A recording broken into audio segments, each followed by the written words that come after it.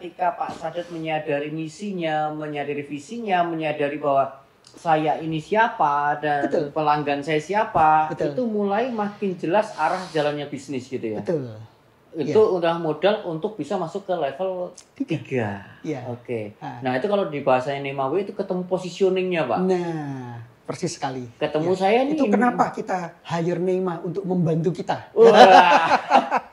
Jadi teman-teman yang punya apa eh, kegelisahan yang sama seperti Asia Vesta, ya nggak salah kalau kemudian berkolaborasi dengan Neymar. Wah.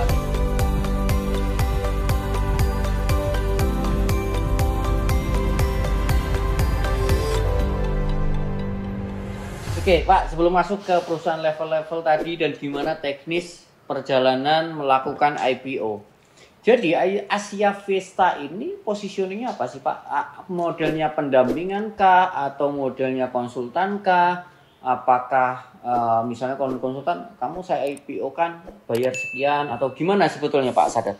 Oke, jadi eh, misi dari Asia Vesta ya kita adalah eh, kita ini investor ya. Oke, investor. Ya, tepatnya kita ini eh, bukan op- apa, eh, holding company ya, tapi kita bukan operating holding, ya, bukan operating holding. Artinya eh, kita adalah investment holding, ya, berbeda dengan operating holding. Jadi Oke. kalau operating holding dia itu mengoperasikan satu bisnis dan bisa jadi membeli perusahaan secara mayoritas. Hmm, oh bedanya investment dan operating holding seperti itu Iya, Pak ya? kalau operating holding dia punya bisnis ya dan Hmm. kemudian dia bisa jadi mengakuisisi perusahaan Untuk dan di- dioperasikan. untuk dioperasikan untuk mendukung bisnis utamanya. Oh. Oke, ya. Nah, operating holding eh, pasti akan memiliki perusahaan atau me- berinvestasi itu kebanyakan secara mayoritas. Jarang sekali dia melakukan akuisisi perusahaan dan kemudian mengambil porsi minoritas. Hmm. Oke, ya. Nah, sementara kalau investment holding, ya, kita eh, fokusnya bukan pada mengoperasikan perusahaan. Kita fokusnya pada berinvestasi, ya. Jadi bagaimana kita berinvestasi eh, di satu perusahaan, ya. Kalau dalam hal ini di Asia Vesta, kita adalah investment holding yang akan berinvestasi di perusahaan level menengah dan eh, kecil dan menengah gitu ya Oke. UKM Eh, dan kemudian kita akan eh, eh, kembangkan menjadi korporasi Oke. ya nah eh, apa yang kita lakukan untuk menjadikan dia korporasi apa melalui proses IPO tadi itu mas Oke. Ya. Oke. Berarti eh, Asia Vesta adalah investment holding ya? betul Oke, teman-teman catat investment holding, ya bukan konsultan ya? bukan ya Oke. jadi eh, kita juga bukan buk- pertama bukan operating holding Bukan Yang operating holding kedua- juga ya. yang akan mengakuisisi yang akan mengakuisisi. Jadi bahkan kita menetapkan syarat gitu ya. Kalau kita mau invest, kita harus pastikan bahwa si founder ini masih tetap mau melanjutkan usahanya. Oke, itu poin intinya ya. Ya, karena kalau kemudian misalnya ada beberapa eh, yang anu beberapa perusahaan yang datang ke kita, terus kemudian Pak saya mau jual perusahaan ini. Wah itu kita nggak nggak tahu caranya gitu. Yang jalanin siapa? Yang jalanin siapa gitu ya? Ah. Eh, karena kita nggak punya kemampuan di situ. Ya. Mhm. Atau ada perusahaan yang foundernya itu sudah capek gitu ya. Hmm. Jadi dia sudah capek bisnis ya. Udahlah saya mau IPO pak. Nah, terus gimana maksudnya? Yang penting saya mau keluar pak gitu. Ya nanti Pak Sadar yang ngurusin. Oh ya enggak juga gitu. ya. kita nggak mungkin melakukan Iya, seperti iya, itu iya. gitu ya. Dan Iya. atau itu tadi kita kemudian eh, investasi dan kemudian Hmm. ada rencana suatu ketika kita akan akuisisi itu semuanya. Nggak mungkin Hmm. Ya nggak mungkin karena itu bertentangan dengan dengan eh, eh, kriteria investasi kita Oke. bertentangan dengan misi kita misi kita adalah Oke. kita mau pastikan bahwa si investi itu pasti akan tetap mau menjalankan perusahaannya Oke. sehingga salah satu kriteria kita biasanya si investi ini harus umurnya masih produktif Hmm, karena masih panjang ya. Nah, Secara hitung-hitungan matematika. ya jadi paling tidak kita biasanya punya kriteria orangnya umurnya antara 40 sampai 50 lah 150. Gitu. Berarti saya belum boleh nih karena masih masih usia 38. Dua tahun Ya, lagi berarti kasih, ya. kasih visualisasi lah. tapi gini, tapi prinsipnya kenapa ada ada angka 40 sampai Iya. 50? Itu usia di mana seseorang itu cukup matang, Oke. ya, tapi masih semangat. Hmm. Dia sudah memiliki wisdom, sudah punya pengalaman, bahkan punya pengalaman hampir mati ya Yeah. bisnisnya, gitu ya. Yeah, yeah, Tapi yeah. masih hidup, ya. Wow. Ya, What doesn't kill you make you stronger, gitu. Ya Hmm. dia lebih kuat sebenarnya, Wow. karena ada pengalaman mau mati, gitu ya. Iya. Pasti iya, iya. pengusaha-pengusaha yang dia berbisnis secara se- selama 10 atau 15 tahun mengalami masa-masa di mana dia hampir mati gitu. ya. Betul, betul, Tapi bisa bertahan. Nah, ya. itu Nah, poin intinya di situ, itu poin intinya. Dan itu biasanya dicapai di usia 40 sampai 50 tahun. Oke. Kalau orang itu usianya sudah 65, itu biasanya sudah Cara nggak berpikir beda. Cara berpikir udah beda. Beda. Gitu ya. Ada itu orang yang datang ke kita usianya sudah lanjut gitu ya. Tapi Hmm. waduh ini kita jadi mikir-mikir ini kita siapa yang mau nerusin usaha Betul, ini gitu ya. betul. Jadi itu Iya, bukan kriteria ideal kita sebenarnya. Oke. Gitu. Nah, Oke. selain itu tadi jadi, jadi apa eh, kita invest di perusahaan UKM yang sudah mapan. Oke. Ya, jadi sudah mapan perusahaannya, harus sudah mapan karena nggak mungkin kita invest di perusahaan yang startup. Oke. Ya. Oke. Kriteria UKM menurut Asia Vesta. Oke, jadi eh, kita ada Oke. Jadi ini entrepreneurship levels. Boleh dijelaskan nih, Pak? oke ya. jadi ini perjalanan pengusaha ya. Oke. Dimulai dari level 1 ke level 2, 3, 4 sampai 5. Iya. Ya.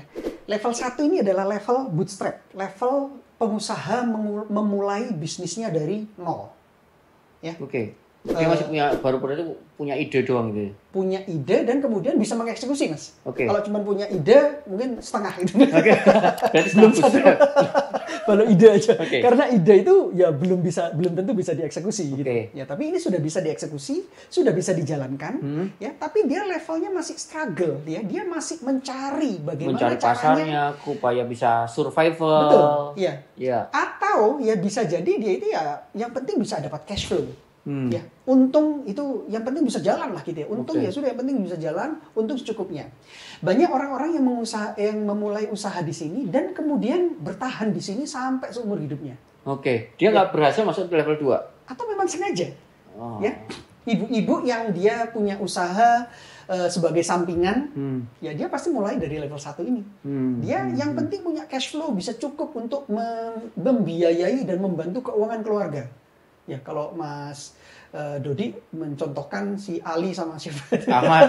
Ali dan Ahmad gitu ya itu salah satu misinya siapa itu Ali atau Ahmad itu Oh iya, ya Ahmad. Ahmad, gitu ya iya. itu membantu ibu-ibu supaya bisa membantu Untuk keuangan ekonomi keluarga Ah. itu mereka mela- me- melakukannya di level 1 Hmm, ya hmm, kebanyakan bisnis melalui level 1 ini Hmm, oke. Ya. jadi eh, apakah level 1 pasti naik ke level 2 belum tentu bisa jadi memang dia memang misinya yaitu dia saya cuma ingin membantu keuangan Oke. keluarga saja Oke. jadi ya saya nggak kepingin gitu pengen perusahaan punya perusahaan besar yang kemudian bisa apalagi menjadi korporasi enggak lah Oke. Ya. Dan bisa jadi itu memang pilihannya. memang pilihan Memang pilihan ya. Oke. Apakah salah? Insight menarik. Enggak.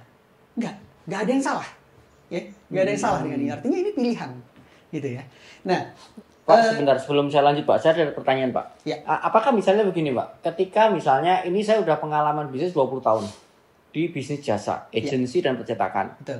Ketika misalnya saya bikin bisnis baru nih, eh bisnis saya misalnya bisnis baru jilbab, saya nggak tahu nggak tahu bisnis jilbab itu gimana, saya nggak punya punya pengalaman sama sekali. Ketika saya masuk ke bisnis jilbab yang baru saya tekuni pada tahun ini, apakah saya kembali ke level 1? Betul. Ya. Oke, Itu berarti mulai ke level 1. kembali ke level ya. 1 lagi ya. Eh, eh, kuncinya adalah bukan pada eh, di ini ber- eh, pada berapa lama kita berada di level 1 ini. Ada yang dia di level 1 ya itu cuma butuh 1 2 tahun. Hmm. Kemudian bisa naik ke level 2. Oke. Tapi itu tadi seperti yang saya ceritakan ada orang Atau yang seumur hidupnya, situ. seumur hidupnya gitu ya. Di level 1 terus. Itu di level 1 dan sayangnya banyak sekali pengusaha di Indonesia yang disebut sebagai UKM ya. Ini pengusaha mikro yang Iya. paling banyak. Ya, itu sering kali yang kemudian eh, kalau kita mendengar pernyataan bahwa di Indonesia ini jumlah pengusaha masih sedikit. Hmm.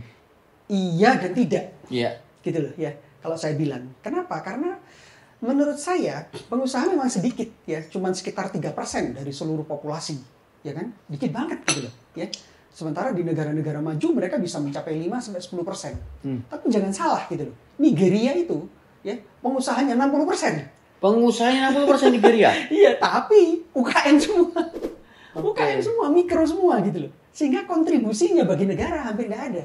Mereka Oke. cuma memilih menjadi UKM itu karena nggak ada sektor formal di situ. Hmm, Terpaksa, terpaksa mereka. ya. Ya, satu-satunya cara bertahan hidup ya jadi pengusaha. Pengusaha apa? Pengusaha UKM, pengusaha, pengusaha mikro tepatnya. Jualan lah ya. Jualan, ya. Oke, Pak. Sehingga tidak eh, ada tidak ada nilai tambah bagi eh, yang besar bagi negara gitu loh, Hmm, hmm, ya, hmm. bagi bangsa gitu, ya. Pak, ter- ter- eh, terkait eh, tadi ya eh, level 1 dan jumlah pengusaha yang ada di Indonesia. Kalau saya ngelihat data dari Departemen Koperasi itu menunjukkan bahwa ada 60 sekian juta pengusaha UKM. Tapi 95 atau 96 persennya ada di level mikro. Betul. Yang di mana omsetnya itu level mikro kriterianya adalah omset setahun itu maksimal 300 juta. Betul. 300 juta itu kalau saya bagi dengan 20 12 bulan, sebulan 25 juta. 25 juta kalau saya bagi dengan 30 hari, kira-kira maksimal sehari omset sejuta. Betul. Dan itu pengusaha terbanyak di Indonesia. Apakah itu yang dimaksud? Betul. Ya. Jadi Oke. apa eh, pengusaha level 1 ini adalah pengusaha mikro sebenarnya, ya. Oh, di Indonesia Di mikro. Indonesia itu pengusaha mikro, Oke. ya, yang memulai bisnisnya memang dari dari awal sekali, gitu ya. Tapi coba bayangin mas, kalau pengusaha kita kebanyakan pengusaha mikro, eh ya bisa jadi dia bekerja sendirian, Iya. nggak perlu eh, ini apa namanya eh, pegawai, iya. nggak perlu tim. Dia tidak akan membangun tim, dia cuman yang penting ada bisnis, Iya. cukup untuk dirinya saja, ya. Eh, kalaupun ada eh, tim, ya mungkin satu dua orang bayarnya kadang-kadang nggak sesuai dengan UMR, gitu, Hmm. ya, gitu. Nah itu apa kalau semua pengusaha seperti itu, itu sayang banget gitu lah Hmm, Indonesia hmm. ini, ya. Eh, sementara saya yakin banyak orang-orang yang sebenarnya berkesempatan untuk naik ke level 2 Oke. ya. Level 2 ini adalah level di mana bisnis itu sudah mulai stabil. Dia sudah ketemu niche marketnya, Oke. dia sudah ketemu cash flow-nya, ya. Oke. Pola cash flow-nya Cash ya. flow-nya udah ketemu, mau dia ngutangin, mau dia bayar cash, mau dia utang dulu atau dia Hmm. harus bayar di depan, itu sudah Udah, ketemu. udah ketemu alurnya, Iya. udah ketemu ya. Cash flow apa steady, sudah steady. Ya, oke. Dan salah satu cirinya, ya, si pengusaha ini sudah menjadi orang kaya, Hmm. ya. Definisi kayanya, Pak?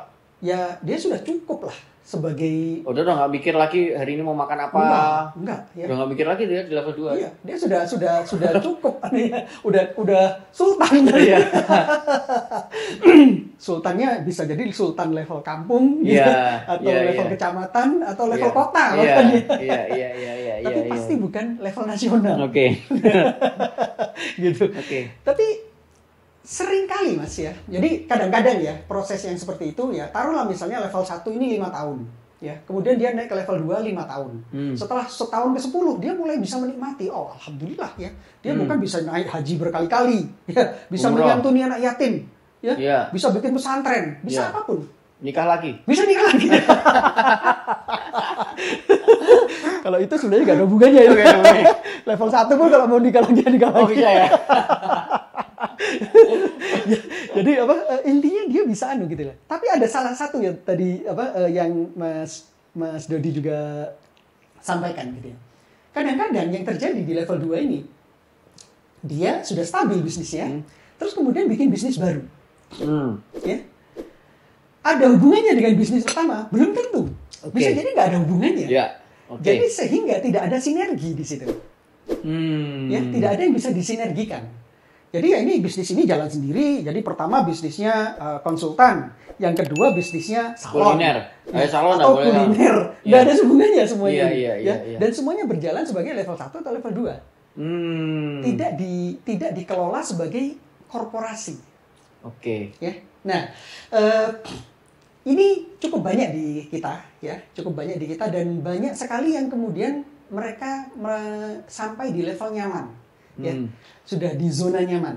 Karena memang nyaman sekali, oh, udah kaya, Udah, udah rich kok. ya, Udah rich sultan bis- itu. udah sultan. Ngapain ini? Ngapain repot-repot mas, gitu ya? Emang buat apa gitu loh, Hmm, ya? hmm. Jadi korporasi, Iya. pusing saya. Ya. Eh, nanti kalau jadi korporasi saya apa eh, bisa dapat apa? Gitu. Hmm, hmm, hmm. Eh, itu kadang-kadang pertanyaan seperti itu itu karena merasa nyaman tadi itu ya padahal kalau kemudian di, di kita telah lebih jauh lagi mas ya level 2 ini si pengusaha memang sudah kaya dia bisa jadi memiliki karyawan banyak gitu ya. Bahkan bisa jadi sangat banyak. Oke. Tapi pertanyaannya, eh, yang yang terjadi sering kali adalah sistem prosedur atau kekuatan dari bisnis itu sendiri itu terpusat pada si pengusaha ini. Oke, itu ciri dari level 2 ya. Iya. Oke, ya. Jadi apa pun itu ada di otak si pengusaha ini. Hmm. Ya, saya nggak usah jauh-jauh contohnya. Ya, saya sendiri, ya Asia Vesta itu eh, selama 10 tahun terakhir itu kita ber- beroperasi sebagai level 2, mas. Oke. Ya, baru kali ini begitu kita kemudian menentukan bahwa misi kita, ya akan menjadi eh, investment holding yang kemudian berinvestasi di di eh, UKM dan kemudian Hmm. mengembangkan menjadi korporasi. Tapi yang lebih penting lagi adalah visi kita, ya kita akan menjadi partner yang dipercaya oleh investi dan eh, calon investor yang lainnya. Ya, ada satu lagi, ya kita punya goals untuk IPO di tahun 2027. Oke. Jadi Asia Vesta akan IPO di tahun 2027. Begitu kita menetapkan bahwa kita akan dengan misi seperti itu, visi seperti itu, dan kemudian kita punya goals untuk IPO di tahun 2027, 2027 mau nggak mau kita harus mengembangkan Asia Vesta sebagai korporasi. Kita harus naik mas ke level 3. Oke. Saya sudah lama mas di level 2. Oke, oke. Tadi ada sebenarnya ada satu statement yang menarik dari Pak Sadat ya.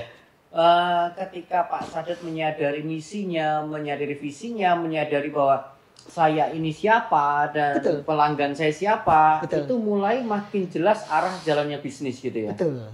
Itu udah modal untuk bisa masuk ke level Tiga.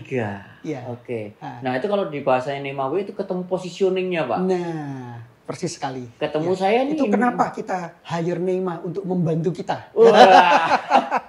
Jadi teman-teman yang punya apa eh, kegelisahan yang sama seperti Asia Vesta, ya nggak salah kalau kemudian berkolaborasi dengan Neymar gitu Wah, untuk menemukan why ya how gitu ya dan kita mau ke mana gitu ya. Ya, jadi seperti yang dilakukan oleh Asia Vesta sekarang kita mau rebranding lagi. Asia Hmm. Vesta ini mau seperti apa? Gitu ya. Jadi Iya. level 2 tadi itu ya sudah sudah cukup nyaman. Itu kalau kemudian diterus-terusin Mas, ya. Ya saya waktu itu pertanyaannya simpel aja. Kalau saya mati, ya, anak saya bisa nerusin usaha ini nggak? Hmm. Ya, ternyata ya jawabannya belum tentu, Hmm. ya, karena apa yang menjadi inti dari kekuatan Asia Vesta itu ada di otak saya. Iya.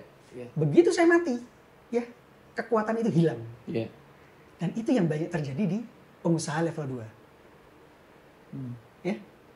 Banyak pengusaha eh, ke- karena bisnis level 2 itu hanya bisa dijalankan oleh pengusaha juga. Hmm. Hanya bisa dijalankan oleh pengusaha juga. Ya. Kenapa? Karena itu tadi sistem ya, Iya. eh, structure segala macam itu ada di kepala si Owner. owner. Ya. Jadi contohnya saya tadi itu aja, ya. Oke. oke. Nah, sehingga kita berkeinginan ya eh, untuk salah satunya merebranding ya Iya. Asia Vesta ini untuk merumuskan ini kita punya loh misi, visi, goals ya. Tapi ini bagaimana supaya ini bisa difahami oleh semua orang di Asia Vesta menjadi shared vision. Jadi visi yang yang diketahui oleh semua orang Iya. sehingga mereka tahu gitu loh ya Asia Vesta itu mau apa oke nah ini proses mas jadi ini eh, kita kita apa eh, membantu perusahaan level 2 naik ke level 3 Iya. Tapi yang tidak kalah pentingnya kita sendiri juga harus melakukan Asia Vesta sendiri harus melakukan nah itu yang sekarang kita lakukan ya alhamdulillah dibantu oleh Neymar Alhamdulillah, terima kasih banyak Pak Sadat diberi kepercayaan untuk membantu Asia Vesta. Saya Iya. merasa ber- bersyukur sekali, beruntung sekali bisa mendapatkan kepercayaan itu. Saya dapat ilmu, tambahan baru, jaringan baru, masya Allah. Iya. sama-sama Mas Edi. Thank you, Ya, Pak Sada. jadi eh, proses menjadi perusahaan level 3 tadi itu pada prinsipnya adalah bagaimana kita mempersiapkan perusahaan kita itu ya sehingga structure sistem ya eh, ada structure ada sistem Hmm. ada leverage leverage ini adalah jadi kalau tadi itu semuanya tergantung saya tapi pada saat di- sudah di level 3 ini orang-orang yang bekerja di Asia Vesta ini betul-betul bisa bersinergi Hmm. bisa betul-betul bersinergi eh, bukan lagi tergantung pada eh, saya Satu orang gitu ya. bukan tergantung pada satu orang Oke. Sehingga kita bikin itu yang namanya SOP, bisnis proses, ya, bisnis proses dari step pertama seperti apa, step kedua seperti apa, ya. Jadi kalau dalam hal ini kita menjadi apa eh, eh, memilih investi misalnya, itu prosedurnya seperti apa, ya. Terus kemudian step kedua prosedurnya seperti apa, ya. Step ketiga seterusnya sampai kemudian step kelima. Kita memiliki eh, SOP seperti itu. Yang dulu, ya, itu ada di otak, di otak saya semua. Iya. Tapi sekarang kita tentukan itu sebagai SOP ya, sebagai satu sistem sehingga bisa menjadi leverage, bisa menjadi nilai Yeah. tambah gitu ya. Terus yang penting lagi kita punya functional organization chart. Jadi kita punya struktur organisasi yang Berfungsi ya. yang berfungsi ya. Iya, iya. Berbeda dengan level 2 ya. Kita punya kadang-kadang struktur organisasi gitu ya, tapi ya pokoknya kalau ada apa-apa tinggal tanya ke bos aja. itu kata-kata itu menarik tuh. Functional organization chart. Karena selama ini banyak yang punya organization chart tapi nggak ada fungsinya. Betul. Komisarisnya istrinya. ya, terus kemudian pemegang sahamnya yang tercantum di anu di apa namanya di perusahaan itu siapa? ya, jumlah struktur sahamnya juga gimana? Nggak jelas gitu ya. Iya, yang iya, penting bisa jalan. Itulah ciri pengusaha level 2. Oke. Ya. Tapi di level 3 nggak bisa. Dan inilah level minimal untuk perusahaan itu IPO, Mas. Oke, berarti artinya kalau tadi eh, Asia Vesta membidik UKM di level 2, Betul. maka akan dibuat level 3 dulu. Pasti, harus. Ya. Karena memang misi kita menaikkan sampai ke level 3. Artinya tuh, kan kalau bisa ke level 4, Mas. Oke, tapi itu nggak ada nggak ada biayanya dari Asia Vesta ya? Eh, tidak ada. Karena Oke. kita menjadi owner. Oke, nah itu teman-teman ya, ini garis bawah ya, bahwa Asia Vesta bukan konsultan untuk meng-IPO-kan. Catatan tuh ya, karena Asia Vesta adalah investor yang di mana masuk ke dalam bisnis itu untuk membantu dari sisi eh, keuangan, administrasi, merapikan segala macam hal untuk dari berubah dari, eh, meningkat dari level 2 menjadi level 3 untuk persiapan untuk IPO. Secara anorganik istilahnya. Oke, secara anorganik. Apalagi itu, Pak? Anorganik itu ya kebalikannya dari organik ya. Iya. Jadi kalau organik itu kita punya laba tahun ini satu miliar kita masukkan ke perusahaan. Oke. Kemudian kita apa eh, berarti perusahaan kita jadi nilainya taruh aja 2 miliar. Iya. Tahun depan punya laba satu setengah miliar kita Masukin masukkan. lagi. Ya, jadi empat setengah miliar. Oke. Oh seperti Dan- itu. Itu anorga itu organik. Organik. Ya. Oke. Kalau anorganik ya dengan membentuk struktur sistem gitu ya. Kita mensinkronkan bisnis proses legal finansial, nilainya bukan lagi menjadi eh, itu tadi organik tadi itu. Ya. Hmm. Seperti idea Indonesia dari nilainya hanya belasan miliar itu kita bisa tingkatkan menjadi bisa kita bisa jual nilainya menjadi 150 50 miliar. M. Oke, itu disebut dengan anorganik. Itu anorganik dalam waktu cepat. Hmm. Itu bisa kita capai ya. Coba kebayangkan kalau misalnya belasan miliar tadi itu dapat untung sekian sekian sekian sekian sekian sekian dikumpulin ya bisa jadi 8 atau 10 tahun lagi tercapainya. Iya, betul. Tapi betul, ini kita bisa betul. lakukan dalam waktu 2 tahun Wow, wow, wow. gitu ya. Oke. Terus Pak, mau Nah, dilanjutkan nggak Pak? eh, ini apa eh, level selanjutnya ini eh, eh, saya jelaskan dikit ya. Jadi Iya. ini adalah level lanjutan dari level 3. Jadi level 1 2 itu level bisnis ya. Level bisnis atau usaha gitu ya. Eh, eh, yang Level satu masih dagang mungkin Pak ya? ya dagang lah gitu ya. Ya, dua bisnis tuh. Ya, kira-kira seperti itu. Tapi level 3 dan 4 ini adalah level korporasi. Oke. Kalau yang Tiga level dan empat 3 level itu korporasi. kuncinya adalah struktur dan sistem, tapi Ya. ownernya masih berperan di situ. Ya. Banyak startup-startup yang langsung ke level 3 ini, Mas. Hmm. Yang kemudian dia mendapatkan injek dari dari investor dalam jumlah besar, Betul. triliunan, itu dia langsung naik level 3. Oke, lompat langsung ya dari level Nggak mungkin lompat. dia apa melalui dari apa pelan-pelan dikit-dikit wah, struktur ah, dibikin bisnisnya, tapi dia langsung membangun, membangun sistem struktur ya dan langsung naik ke level 3. Wow. Tapi pada saat itu ya di level 3 itu sebenarnya pengusaha ini masih harus berperan. Ya, si pengusaha ini harus berperan, harus tetap terlibat. Hmm. Cuman sudah berbeda keterlibatannya. Ya, kalau dulu harian ya. Jadi kalau kalau salah satu cirinya pengusaha level 2 yang saya pernah tanya itu pernah libur nggak? Oh pernah mas, ya libur ya. Berapa lama? Eh ya, anu apa? eh, tiga hari Oke. tiga hari itu anu apa namanya eh, nggak kontak kontak apa perusahaan sama sekali ya dikontak sih setiap hari gitu. itu bukan libur itu namanya.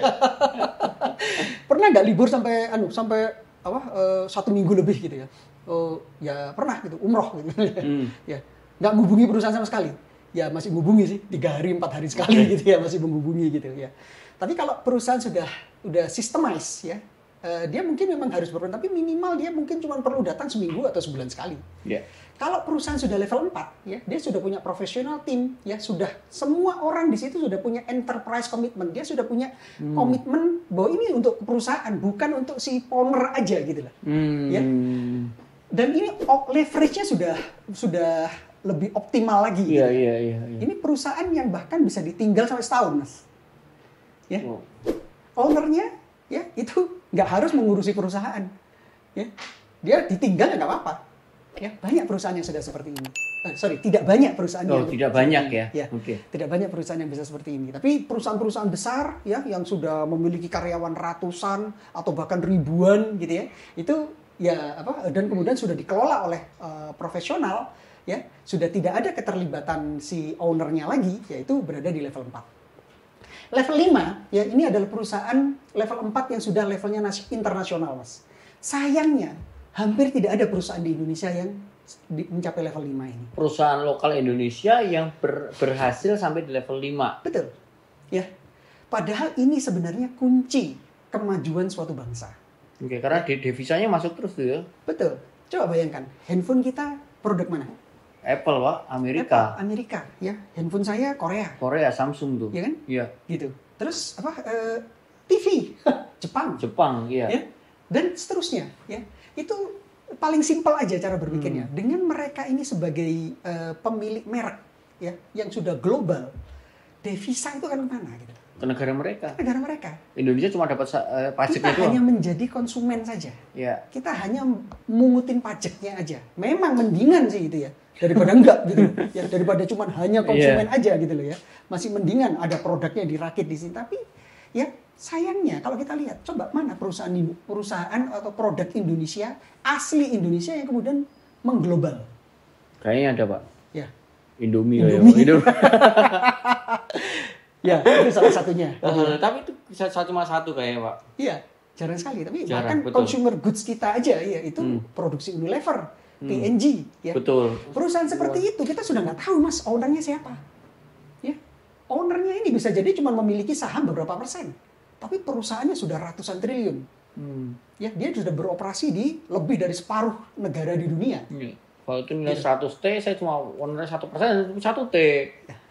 gitu. Ya jadi apa eh, Wow. perusahaan-perusahaan seperti ini sudah eh, sudah beyond level 4 sudah di atas level 4 ya jadi pasti perusahaan yang di level 5 ini sudah pasti eh, eh, dia perusahaan publik. Level 4 kebanyakan perusahaan publik tapi nggak semuanya.